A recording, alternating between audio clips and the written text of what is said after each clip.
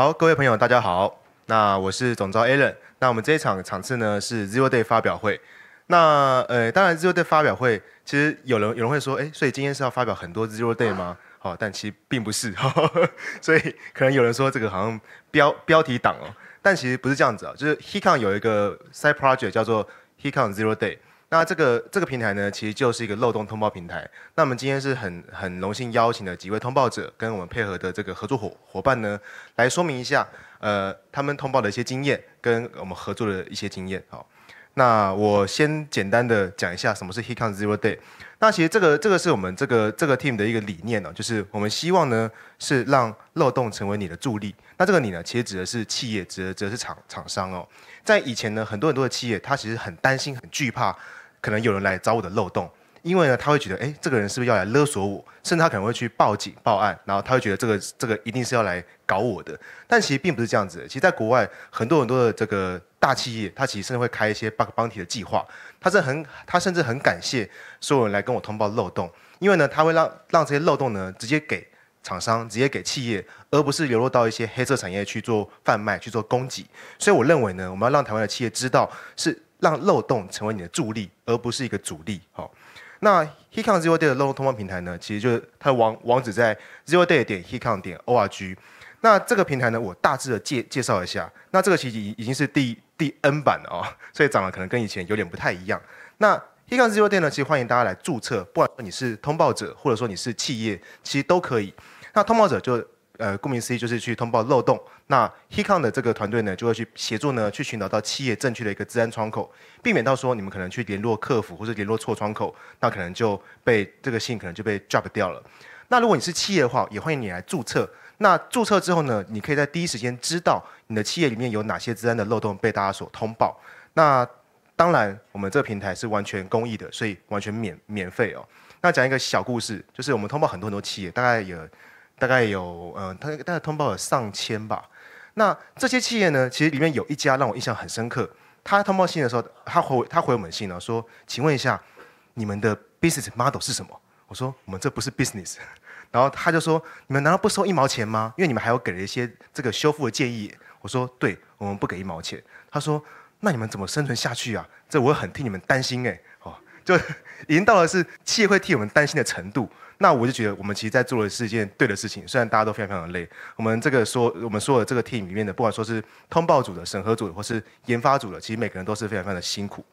好，回来我们的这个平台哦，我们这边有首页，那我们会有一些最新公开的一些漏洞，那以及呢，你们可以到漏洞的列表上面会看到说，可能有多少人通报了漏洞，然后呢是什么漏洞，这些这些漏洞的这个。的这个企业的名称呢，其实是会在它修复完毕之后，或者说等等到时间到期之后呢，才会公开，这是保护企业。那我们也做了一些比较详细的这个图示哦，包含说这个漏洞通报呢，它的这个 timeline 大概到了什么时候？比方说，我可能几月几号的时候通报给他，那他可能接收到了，他可能在处理了，在修复了，最后呢，他可能是已经修补完毕了，然后最后公开。所以我们可以在这个像捷运 MRT 的这个时间轴上看到说它的这个 stage 到哪一步了。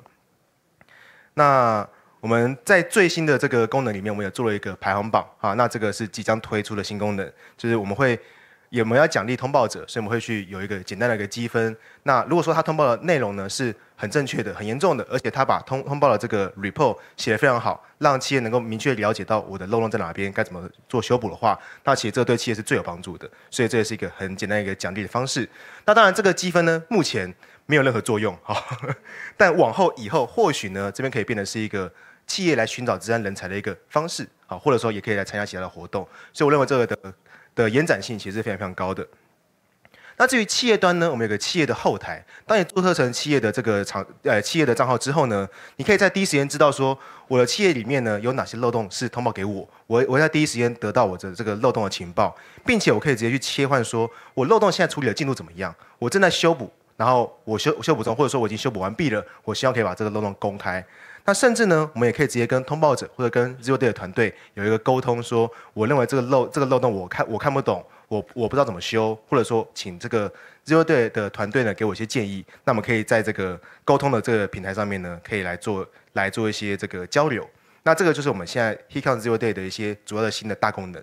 它其实小改版非常非常多，我们其实几乎每每每周每两周都会有一些大版本的更新哦。那我也简单的很快速的分享一下我们通报的经验。其实漏洞通报的经验，其实是我我认为是很辛苦又很痛苦的，因为呢，台湾的企业呢，其实对漏洞的这个敏锐度其实还不够高。那我接我接收到最棒最满分的通报经验是，第一个，他在网站上有标明所谓的资安的窗口，例如说像 security at 什么什么 company.com，那我们就可以马上知道说，OK，你寄给他绝对是正确的，而且而且他的他的成绩可能是够高的，他不会说被这个被 R 被 R D 吃案，或是被客服以为是诈骗信这样子。好，那再来呢，他甚至会跟我们讨论说。请问我这样子修是对的吗？那有没有更好的的做法？甚至他可以把一些他的修复的做法跟这个 reference 可以来跟我们交流。更进一步的，甚至有企业说他希望能够知道通报者是谁，好，不是要揍他啊，是说可以可以给他一些奖励。例如说，虽然说我没有开 bug bounty 的计划，但愿你通报奖通报这个漏洞给我，我很感谢他，我希望可以给他一个这个奖金。那这个是确实有发生过的，所以我们认为这是满分的企业。再普遍是六十分，就是反应比较不积极，或者说他可能修复的时候，就是他他可能会跟我们说，哎，这个我修好了，但是我们一看完全没有动过啊，所以不知道说这个是他可能修复的方式不对。那比较多的是他可能直接上了 WAF，上了防火墙挡掉之后就说我修好了。我认为呢，这是台湾企业面对治安一个最大最大的错误，就是他认为我用设备阻挡就是安全的，这是错的。为什么是错的呢？各位在 He 呃在 HeCon 这两天，或者说在以前，一定听到很多。人，一定听到很多骇客手法，包含说我如何去绕过侦测、绕过防御，所以各位防火墙或者 WAF 是不是可以绕过？对骇客来说可能并不难。那各位企业要做的事情，其实是我明确的把这个漏洞的问题点把它修补掉，这样的话才是治本，而不是只治标而已。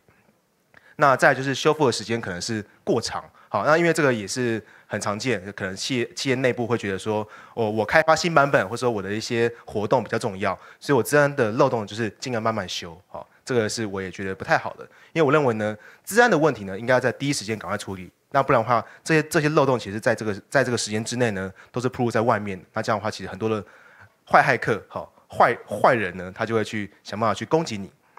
那最后讲一下零分的，哈。这个就是 我们也很常遇到的是，我们寄信给他，那怎么样寄他就是不回，甚至呢他的 Who is 的信箱、他的客服信箱或者网站都不见了，好，我们甚至不知道说这公司是不是还在，好，但他网站还还在那边，那这期我们就会非常非常的困扰，那我们可能就会去寻找一些合作伙伴呢，来来帮助我们做通报。再就是呢，他很有些企业可能会跟我们说，哎，在我电脑看起来看起来是好的啊。在我电脑看起来，这个应该不是漏漏洞吧？但可能我们很明确的看到说，通报者他已经明确标出来说，漏洞在这边，所以你的个资已经在已经在这边了，你的资料库已经荡不出来了。但他说这不是漏洞，难道这是 feature 吗？好，应该不太可能嘛，对不对？所以我认为这个可能是呃，治安人员的或者开发人员的治安的 sense 可能还不够好，那他可能要明确的去知道一下到底什么样是治安的漏洞。最后一项是呢，认为我们是诈骗集团的哈。但这个在这一年以来已经没有发生过了哈，因为 HeCon Zero Zero 已经两年了。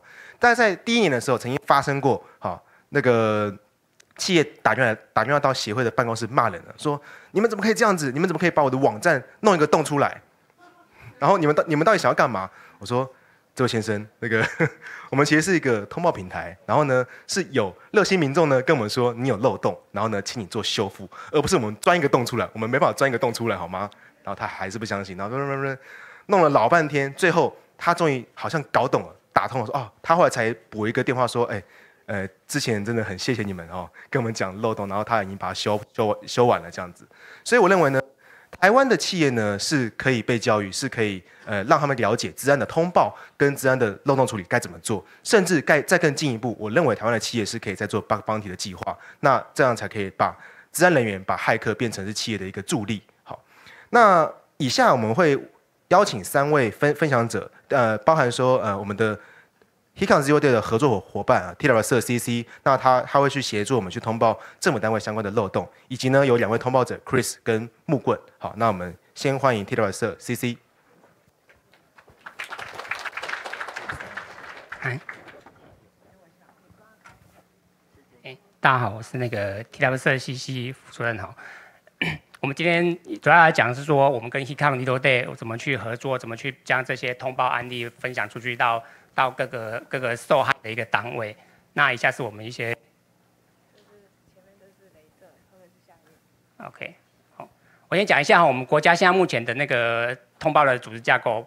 我们我们我们台湾哈，我们有几个那个各个领域负责的不同的那个通报的。那我们要我们比如说政府部门有 TWN 社来负责，那还有金融部门有 FS 那个 FS 社的，还有那个电信业者是 NCC 的那个社的来负责。那我们 TWN 社是主要是 Coronet 这几个社的。那我们主要是跟国际上的一些合作，还有一些主要各社之间一个通报。那我们通报的在政府里面通报，这我们主要是说我们有些有些我们学有些通报案例是从国外或国内的一个 cert 来。那通过我们以后，如果是跟我们政府相关的一些通报的话，我们会就会通报那个到 GSN、I、GS、GISEC 去哈。那另外，如果是一些治安公司发布一些治安漏洞讯讯息的话，一样我们会再做一个通报的回馈。那还有一般企业，如果假设它是有遭受到攻击的话，我们要去去做一个通报。另外，比较最主要就是说，我们跟那个 T 杠六队有一个治安通报的平台哈，做一个合作。那一样相关，因为在政府上的一些，在在政府政府政府的作业行政程序上哦，比较一个复杂繁琐。那 T 杠六这边希望我们帮他处理一些政府时间相关漏洞问题的一个通报。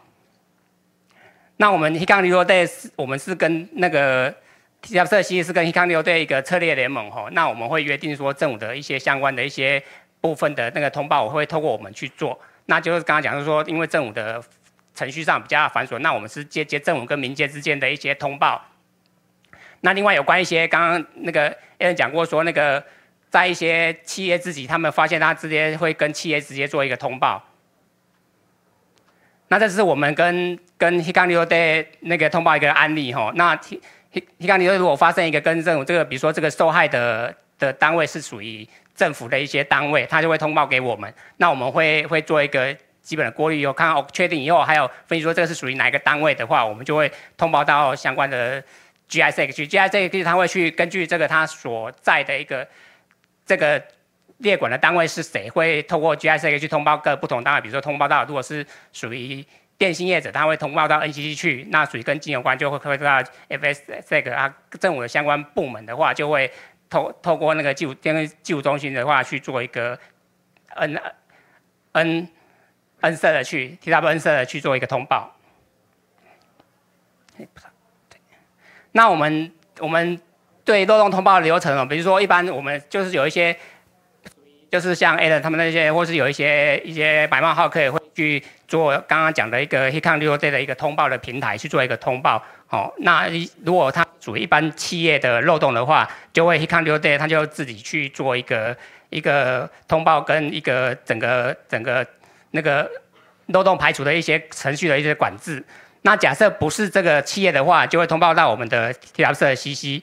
那 T W 社 C C 的话，就会去到 G I C 去做一个通报。那根据相关的刚刚提过了。不同的负责的单位、负责的领域的话，我们会做一个通报。那另外，我们也会对一般 T R 设计平常也会对一般的企业做一些宣导，比如说有重大的治安一个漏洞问题的话，我们去做一个一个宣导。那这这接下来我会几个举几个通报案例跟大家就比如说在那个 h i k a n 队有跟我们讲说有一个政工所哦，它的那个那政工所就属于一个政府的单位，它一个网站有一个 deflect cross site screen 的漏洞。那我们的处理就是说，我们会去去查相关的那个相关这个漏洞，这个主机所发生的 IP，它所属单位是谁？那确认以后，我们会确认无误，我们就会传到我们的 GIS 的一个平台去。那 GIS 就会给我们一个一个漏洞这个通报的一个编号，那我们就去做一个管制。那 GIC 也去会根据这个问题，他会做一个处理，说，哎，这个确定他会去把往下去做通报，说这个负责的负责的单位是哪里，会去通报啊。协状况排除的状况是，如果他也会在这个 GIC 的平台上做一个做一个做一个登登录，等到他修，我们会去查说他如果修补完成以后，我们就会再回报给 Hikang New Day。那确定这个问题修补以后，Hikang New Day 就会把这个这个漏洞把它公布在那个 Hikang New Day 的网站上。那另外，在今年三月一个 Apache 的 Structure，这个是一个比较重大一个一个漏洞。那因为这里是个重大讯息，在还没有发生说有什么，大这个漏洞出来以后，还没有说谁受害以后，他会会有这个讯息。那就这个因为这个很严重，那 Hikari 流队这个团队也会发给我们 TFS 的 CC 一个警讯。那我们会在 GS 上去发在那个 GIS 上去发说这个警讯。那之后陆续可能就有一些治安专家或是一些像各位有一些有兴趣的，就会去根据这个资讯去去在台湾上这个网络上去做一个 try，看哪些伺服器或哪些 server 有一些相关的漏洞。那都陆续的统计出来，也会发也会送到我们的 TWC。那如果跟我们有关的话，我们会去做处理。那一样，我们会把这个相关的一些相关知道的一些，因为这已经有确定说哪些机器是有这个弱点吼。那就会被就会通报我们，我们就会到 GIGIC 的平台上去做一个反应。那另外，如果我们查的时候，因为有些有些企业它的主机不一定是由台湾的，比如说中华电信或等等一些 I S P 业者负责，有些是它会注册在国外。那如果这些主机是属于注册在国外的话，一样我们会去查了以后，说它是属于哪一个国家的或哪一个国家的 I S P，我们会通报出去，因为我们 G I S。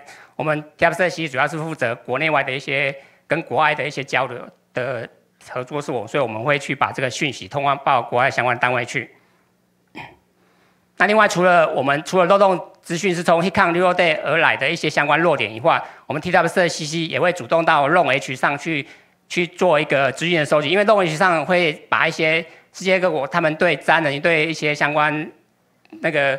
漏洞的发布情景会在这边去，那我们会筛选说跟我们台湾有关的一些单位、一些网站去去去做筛选。我们 try 写出来以后，我们去确认说这个弱点是不是现在目前还是存在的。如果是的话，我们就会去做通报，一样查出我们说这个这个主机的管理者是是谁，这个这个这个主机的管理者是谁，他的漏洞形式是怎样，那我们会去做一个通报。好，通报还有我们去管制它，说到底什么时候有没有完成，我们去相关做一个做一个记录。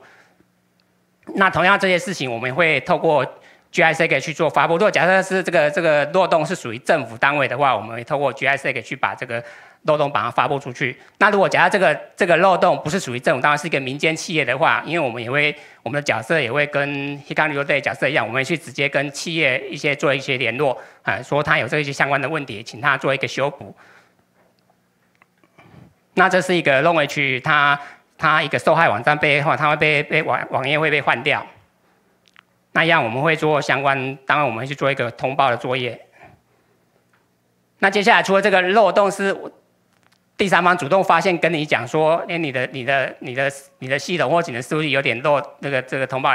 另外有一些是民众通报，民众通报是说他可能他自己家的治安产品，或是他已经被害，他发现了，他就会通报给我们。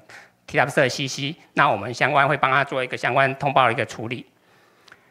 那在，因为我们 T W 社 C，因为刚刚提到说我们国家有很多社的，那我们 T W 社 C 主要负责的对象，我们的服务的对象就是一般民众跟企业。那我们在这对民众企业发现一些问题的时候，我们做一个相关的处理，就是说我们有一个程序，希望他做一个那个好好的把这个问题都给解决掉。那因为一般企业其实它不是那么大，我们负责说，比如一些中小企业，它可能自己没有一些治安的一些人员，那所以说它遇到一些相关漏洞的时候，它可没办法去好好的去做一个企业处理。那我们会建议他，我们 T W 设计我们在正在建台湾的一些治安的一个一个人才库或是一个治安的资质库。那未来企业如果有需要的话，可以透过我们去引介治治安公司去帮他处理这些治安的一些问题。那这是一个。有有有有民众企业通报 S L 一个报有有人对尝试对他家的主机做这个攻击，那我们会做会会做一个一个一个分析以后，觉得这个是属于哪边的攻击，要通报到哪里去？那另外就是说有有人发现他的有人伪冒他公司邮件发恶意钓鱼邮件去做一个对外做一个伪冒攻击的事情。那一样我们会去做一个分析，分析完以后我们会去通报，比如说，因为它因为它这个伪冒邮件来源是可能是在美国，那我们就通报 US 的。那个这这个这个这个这个 domain 注册是一个是是 I R Nameship 这个这一家公司，那我们也会通报这一家公司去。那我们也其他设计会给一些相关的协助建议。另外在在多功能的部分一样，我们需要。去去分析说他通报出来是实际上相关资讯，那我们去给他找出相关，会判断出哪些这个这个 IP 是属于谁，我们就把它通报到哪个单位去。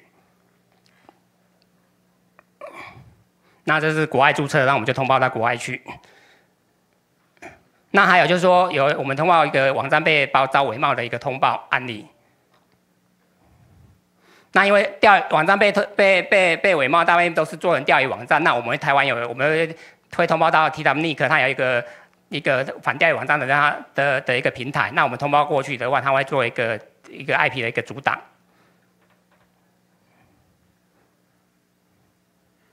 那最后我做一个结语哦，其实刚刚 A 人讲过，我其实我们在做通报上面，其实我们常常被说说我们是诈骗集团，是是真的。那这是说我们，因为他他家他们对一个治安可能意识没那么没那么清楚，或对治安知知识没那么多，那我们跟他讲的时候，他会觉得很怀疑，说我们是真的是诈骗集团。那另外还有一个就是，因为我们很多企业它的系统或什么都是委外做的，那我们通通报到这个企业主的时候，他。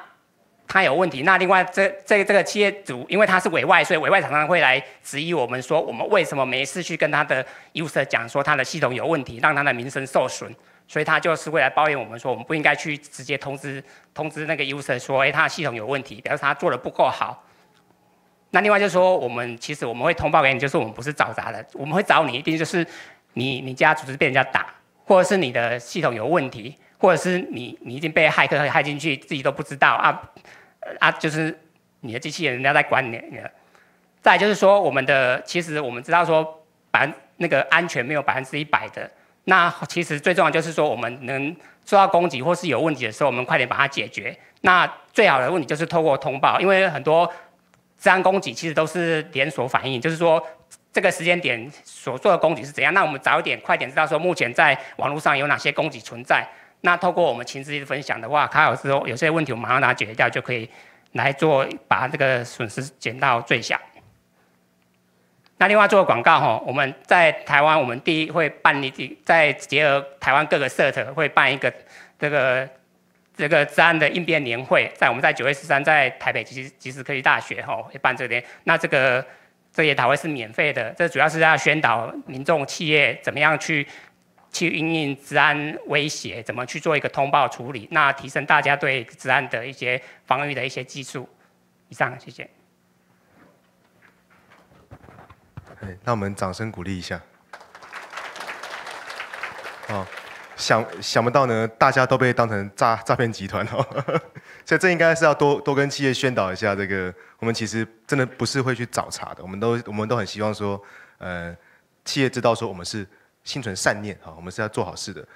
那接下来我们下一位，下一位是我们通报者的一个一个回馈哦。因为呃，下两位通报者其实他们都是很用心哦，也找到很不错的漏洞，而且他在跟企业沟通、跟撰写上面都是做的非常非常的好。所以我们等一我们先掌声欢迎一下下一位通报者 Chris。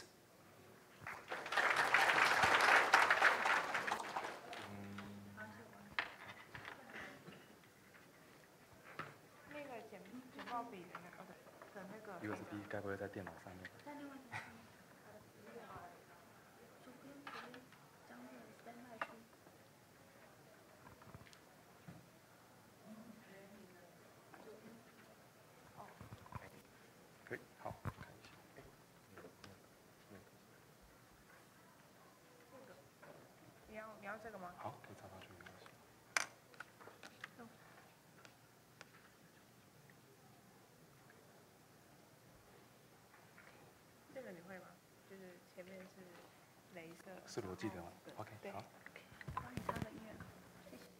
Hello，测试 OK，大家好。首先哈，那先在这边要先谢谢 HeCon 还有 TWCC 哦，提供给我们一个这么好的平台，让我们通通报者有一个很好发挥的地方。那我相信他们其实也扛了非常多的炮火了。那我们这边就是基本上在通报完之后哈，那基本上都算蛮安心的。那这边简单自我介绍一下，我叫林坤宪哦，那大家也可以叫我 Chris。那目前呢是服务于在中。中华电信这边哈，那就是为了你一直挡在最最前面嘛。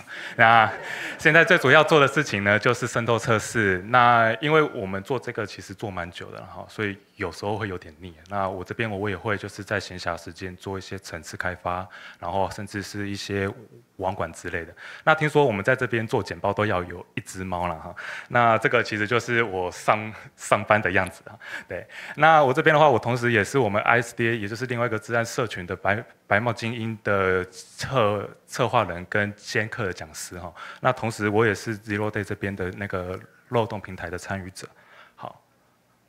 那这边要先提一下哈，我为什么会选择加入我们 Zero Day 的这个大平台呢？那大家应该会多少知道说，其实，在我们 HeCon 推出这个平台之前，有个平台叫做 v a l e n Report。对，那我那个时候其实有找到一些网站的弱点的时候，我那时候是有想说要在另外一个平台上面做通报的。结果呢，我那个时候刚注册完一个账号，那注册完账号之后，他是说要收那个信件的确确认信嘛。那我按了三四次，他还是寄不过来，我也都一直收不到。那我很认真的挣扎了快三四天，我还是没收到，所以我最后放弃，就来到 Zero 的这个平台了。好，那可以从没有这边看到，说我那个时候有发个信到他们那边去，但是一直都没有收到信，所以之后就是在这个地方做回报。好，那在接下来的话，我会带三个案例的分析，那有一些的话会带到一些技术的分享哈。那首先先讲到哈，在某个晚上我打歪了哈。那这个是因为在于说，我们有时候会接了非常多非常多的案子哦。那那个时候刚好有要做到一个银行的渗透测试。那这个银行渗透测试的话，它是直接做整个 domain 的检测。那我们就想说，哎，那可以玩得很开心。那因为这家银行哦，它的治安其实也做得非常的好，所以我们就想到说，哎，那如果说主网站打不进去，那我们可以打什么？打网段嘛，对不对？所以呢，我们就直接从他的 domain 那边去找到说他中华电信的 Win IP。那大家都会很直觉想说，那大部分都什么？都是二五五点二五五点二五，也就是 slash 二十四的段。那我说我如果说我们可以打进同网段的某一台机器的话呢，我们就可以再直接迂回的去做攻击哈。结果呢，这一个就是在于说，我们今天在做的时候，我打歪了，因为它这个地方有切网段。好，它这边是切了一个 slash 二十七，也就是它是二二四，所以呢，我们那个时候打进这个 Bill Hunter 的系统的时候，看一下，好，这个是某一间银行的 Bill Hunter 的系统那这个 Bill Hunter 系统，它是由我们台湾这边某一家系统开发商所开发的电子账单的系统。那大家可能常常说会收到一些什么电子信用卡的。账单到你没有？大部分啊都会是从这个系统那边寄过来的。那这个系统的话，它其实有分两个版本，一个是非常老旧的 ASP，那第二个是有稍微好一点的，比较新的是 ASP 达内做开发。那这一次出问题的哈，是在于说它这个 ASP 老旧的系统哦，第一个它的状况是有账号列。列举的问题，就是说，你今天在输入账号密码的时候，他会告诉你说，这个账号有没有存在资料库里面，或者是没存在资料库里面。那透过这两个出讯息，我们就可以去做账号的列举了哈。那再搭配字典档做攻击哈，我们就可以知道说，这个 Bill Hunter 的的的这个系统里面有个账号叫做 Operator。好，那 operate 之后呢？有这个账号之后，要再猜密码，其实就非常的简单了。我们就开始去猜密码。那结果哒哒哒哒哒，就达到一居然是弱密码，因为它的密码也叫做 operate。那我们就进去到系统的后台里面，而且是系统管理者的权限。OK，那我在简报上面哈，这边有留短网址。那说如果说有使用电脑的朋友，就可以先上去看一下它的那个 Zero Day 上面的资讯哦，会比较详细。因为这个简报之后会公开，所以有些图片我没有很方便放在上面。好。那进去到这个里面之后，其实我们可以透过哈去分析它网页，应该说它 HTTP 回应的标头哈，可以看到说它这边回应那个什么 Server Microsoft IS 六点零，非常的经典。从这个地方就可以知道说它使用到的是什么 Windows 二零零三的系统。好，那这个系统搭配这个 IS 架构哈，其实有一个非常经典的弱点，就是叫做副档名的解析的漏洞。透过这个的话，我可以在啊一个副档名后面去 append 一个。分号，那这个时候 IS 在做解析的时候呢，他会以为说这个是 ASP 的脚本，但是实际上看后面哦，这边其实是一个 PNG 的图档，那代表说他碰到分号的时候哈，它就自动的去解析前面的副档名，那导致说我们。啊，你的网页系统可能写的非常的安全，有使用到白名单的机制，只允许前端上传图档上来。那可以看到说，我们这边上传其实是个图档嘛，但是因为搭配了这个系统的弱点哦，它就可以制造成了我们脚本的执行。所以这个 GG 点 S P 哈，其实就是一个网站的后门。那传上去之后哈，那就可以看到说，它上面就可以去执行任何的系统指令，包括说你要今天要去管它的。网站之类的，其实都可以做到。而且如果说大家有点进去看刚刚的网页的话，哈，在最下面的部分可以看到说它其实是一台内网，那也可以再继续去做更进阶的内网的渗透，哈。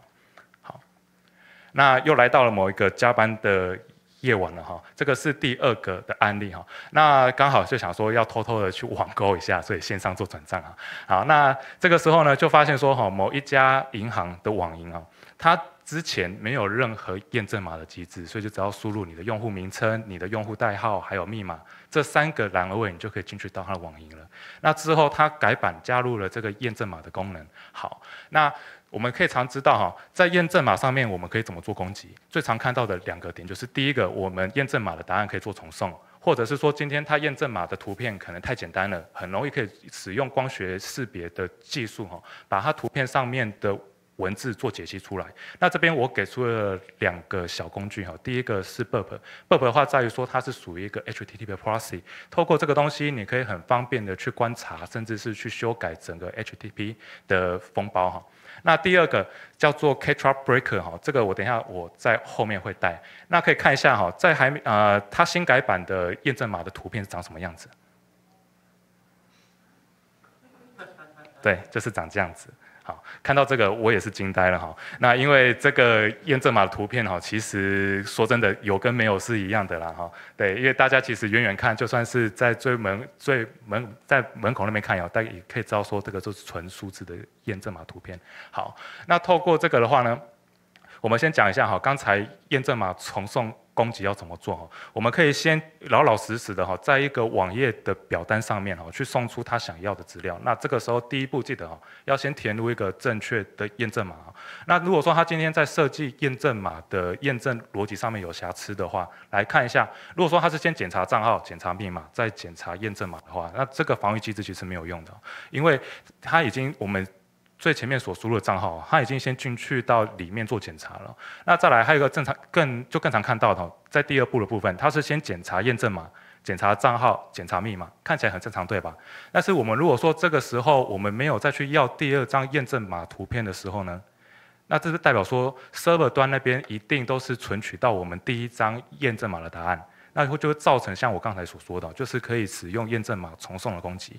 因为我一直到下面的 loop 的时候，假设第一次进来的验证码的答案是五一九零好了，好，五一九零，那我再输入一个账号，输入一个密码，来到这边去做验证。那第一步到五一九零过了，然后检查账号，检查密码，好，然后之后我再送出第二个 HTTP 请求，我这个时候我的验证码答案我一样是维持五一九零，但是我把账号密码改成我想要猜的账号密码。那来到这个城市的逻辑的时候，它一样会过。为什么？因为五一九零一样都是存在 server server server 端，它没有被清除。OK，所以真正说今天要做好一个健全的验证码的机制哈，一定要在什么？在检查完验证码之后，不管说它今天验证码是输入正确或错误，一定要记得要在后端去销毁它当下的答案。这样子你可以确保说它下次再进来的时候，答案一定是都是要去要一个新的图片。这样子的话，哈，就可以去防御验证码去 replay 攻击，哈。好，那再来，刚才有讲到，就是透过光学识别的技术，哈，去辨识验证码的图片。那现在很夯的是一个叫做 machine learning 的技术，哈。那其实也可以使用到像是 TensorFlow 这一类的框架，去让它自动的算出图片上有哪些文字。但是其实我们都还我还蛮懒的啦，所以呢，我这边有找到一个。工具包啊，叫做 GSA 的 Ktrap Breaker，这个工具包非常的方便哦。那首先这边要先提一下哈，它是 commercial 的软体，好，那大家如果说载下来之后，它其实是可以试用三十天的，三十天过后，它就会跟你讲说请付费。那聪明大家应该知道说可以装在 V N 里面做快照嘛哈，OK 好。出出去之后，请先忘掉哈。好，那这个工具包哈，它很方便，你可以先透过人工的方式哈，从你要测试验证码的网站上面把它的图片都截下来，三十张。那这个时候，你再使用人肉辨识的方式，把正确答案填在档名上面。那这个时候呢，工具就可以暴力的去试出所有图形的算法哈。好，那这个时候可以看出来哈，在下面这个地方，它会做了很多二值化的处理，甚至说今天它会把它的图片拉大，或者是。放小，那这个地方的话，它就可以判断出来说，它这边最适合的图形算法哈，到了九十 percent 的几率 OK，那这个银行其实我们要在这边哈，也要稍微的就是赞赏一下，就是说他们当初在接收到我这边的通报的时候，其实他们反应的非常的迅速，甚至说他们也会在发个没有私底下来问说，我们修好了，那这个地方的话是不是会有之之类的问题？OK，好，所以其实要对我们台湾这边的网银多一些信心哈。那最后的话这边好是一个方算是一个小运气的地方哈，就是我们一样在做一个客户的站哈，结果他有客户做回报说哈。有人在打他的战，那他以为说是我们在做攻击。那做这一行的，其实会发现说有时候很吃运气哦。那当然也会需要靠一些经验。那这个时候我们可以看到说，这个站其实是已经被侵入了，应该是被中中国那边的朋友侵入当跳板机。那透过 POS scanning 的方式可以看到说，他开了非常多很不常见的 POS。好，那这个地方的话哈，使用到 D R D R B 的方式，我们可以去列出说它网站上面有哪一些的目录。那可以看到说它上面有个 I S 的资料夹。那透过去浏览这个页面的时候，哈，可以看到说它页面显示出这个东西出来。那如果说有在使用过中国菜刀的朋友，应该可以看到说这是一个很明显的 pattern。那再加上说它因为没有去修改一句话的木马，所以其实我们就可以直接在反入侵这台僵僵尸的电脑。OK，好，以上是我的分享。好，那可以看一下这边就是它的 code。好的，那谢谢大家。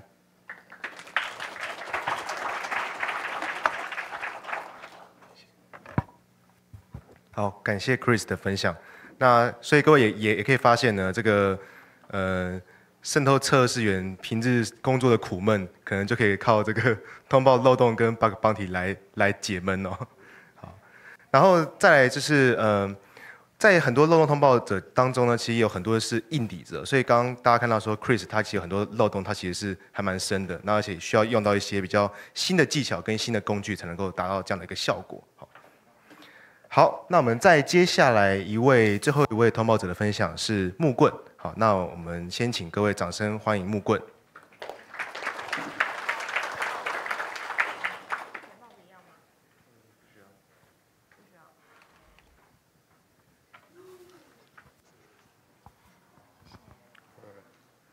这个麦克风是能用的吗？是用这个，然后那个是那个。哦，OK。喂喂喂，有声音，好。好，那呃，大家好，我是 Indy。好，那也可以叫我木棍。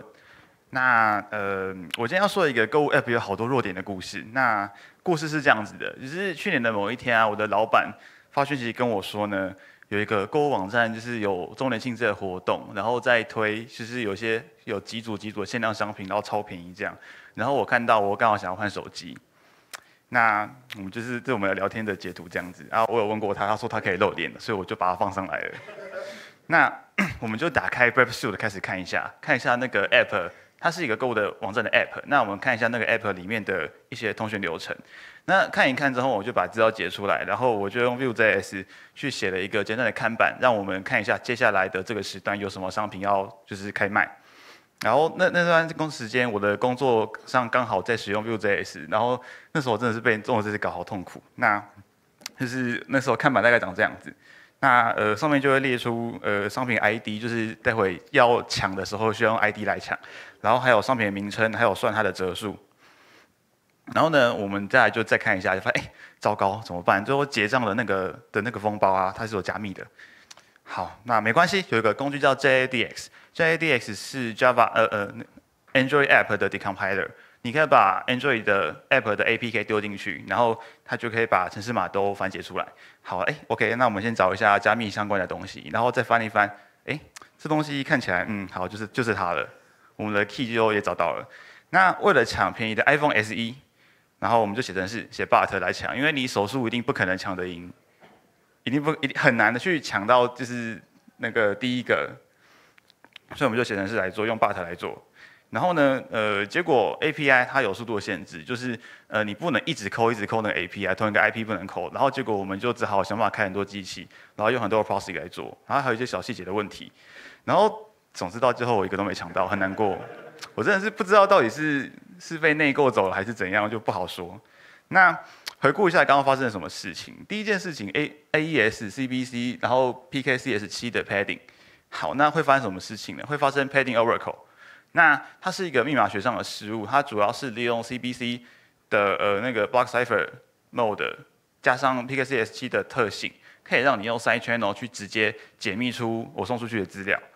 那第二个问题是它加密了，但是它使用的 IV 跟 key 是固定的，也就是说，你每一次加密的 IV 跟 key 都固定，我只要知道 IV 跟 key，我就可以解密你送出来的资料。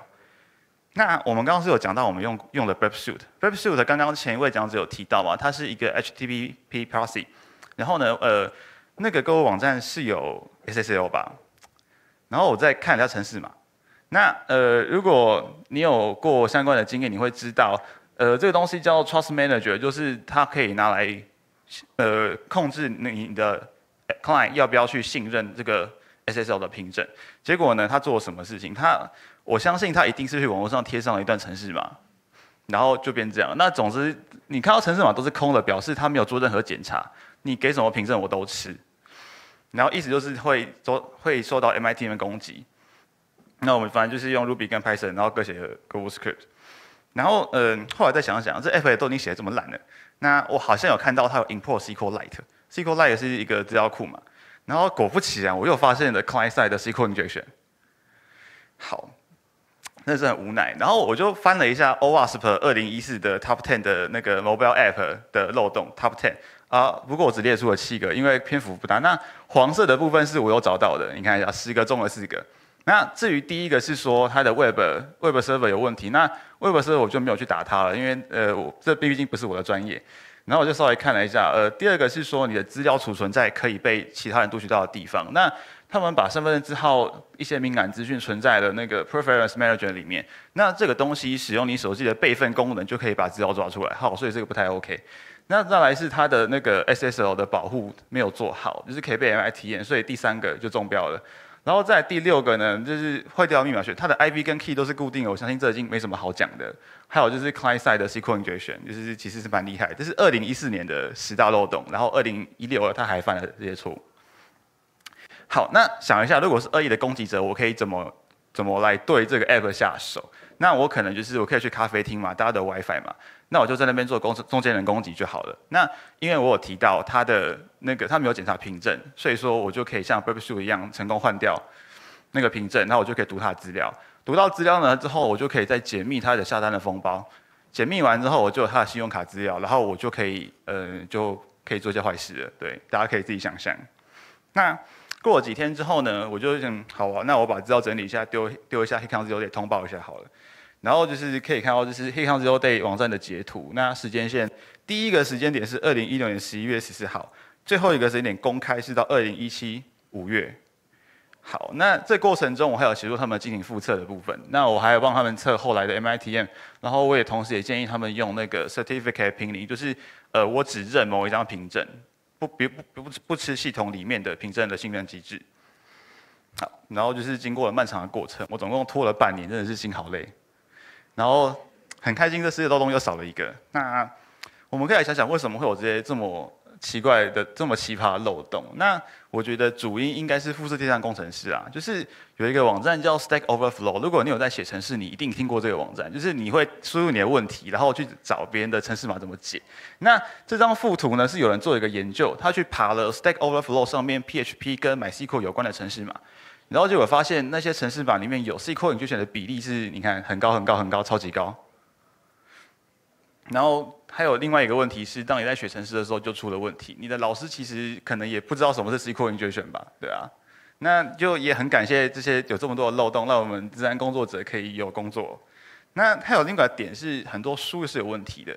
你可以去你可以去书店翻 PHP 的书，你一定找得到呃不止一本里面的翻译程式嘛是有漏洞的。所以我们就一起怀抱漏洞，然后解决，哎不是不是教育他们解决漏洞。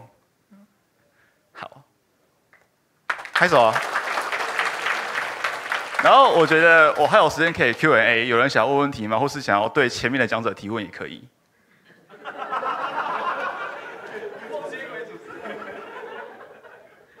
有问有问题吗？没有的话就谢谢大家。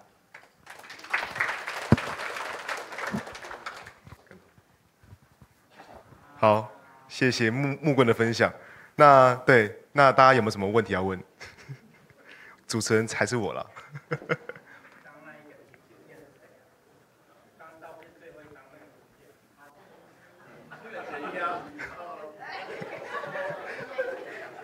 好。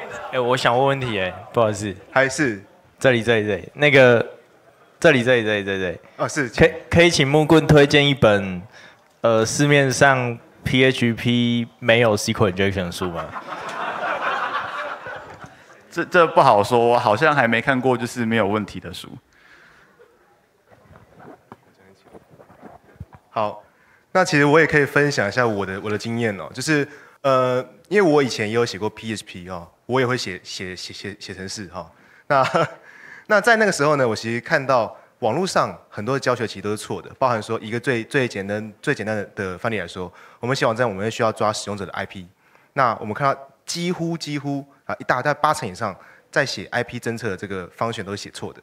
那当然这个错有分有分成不 work 跟有漏洞。那其实很多东西，它它都它都是呃，它没有考虑到太周全的情况，所以我那个时候就写一篇文章，是专门讲说怎么样安全的、好有效的去记录所有使用者的 I 的 IP。所以各位，网络上的文章跟书啊，你不要说尽尽兴了，你可以试试看。那而且你多看一下官方的 manual，其实会很有帮助。好，有没有哪一位有问题？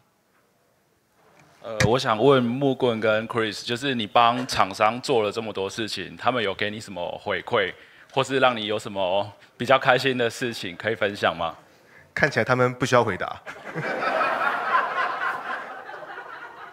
好，但是我必须说了，就是有给回馈的企业其实是有的。好，那我也那而且甚至有些企业，它其实他不想要经过 Hecon Zero Day，他就直接自己有一个八邦体的计划，像呃对，像很多公司其实都有。那我我觉得这样其实还蛮不错的。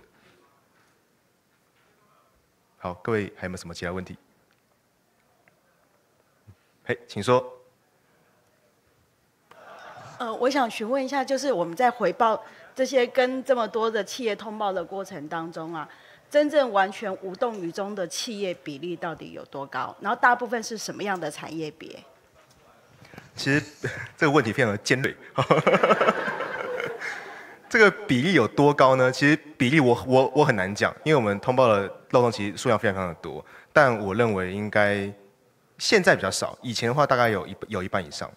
对，但但呃，我觉得很多的问题是，因为治安漏洞的通报其实是不限网站大或小，所以可能有人是他自己写了一个小网站，他有一个 domain name，然后放在网络上，然后就被找到漏洞了。那通报给他，他其实根本他真的接收不到这个这个这这个通报。那我们知道很多这种无动于衷的，可能是小零售业还蛮多的。那因为呢，他们可能就是小本经营啊，那他们可能也没有什么 IT 人员，那更不用说我们寄信给他，他他有时候信箱是是不会回应的。那所以像这样的情况还还算不少。那我们如果遇到很棘手的情况，那例如说可能呃，比方说讲一个例子好了，可能有有公司是专门帮别人开发网页的。那那一家公司开发公司，它其实没有自然的思维，所以它开发出来的系统全部都有漏洞。那可能一次就有上百个客户，那所以等于是它一个 SQL injection 的漏洞呢，可能就有上百个网站都跟着有有问题。那有的时候我们是苦寻联络不到，那我们有我们有些情况就会委托给 t e r a s CC 来协助我们做通报，那成效都还蛮好的。嗯，对，以上回答。好，各位还有没有什么其他问题？没有吗？没有的话，那我在这边最后广告跟宣宣导一下。那 Hecon Zero Day 欢迎各位来注册，不管说你是通报者还是你是厂商。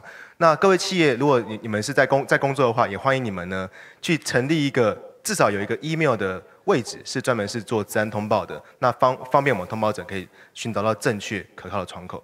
好，感谢各位，谢谢。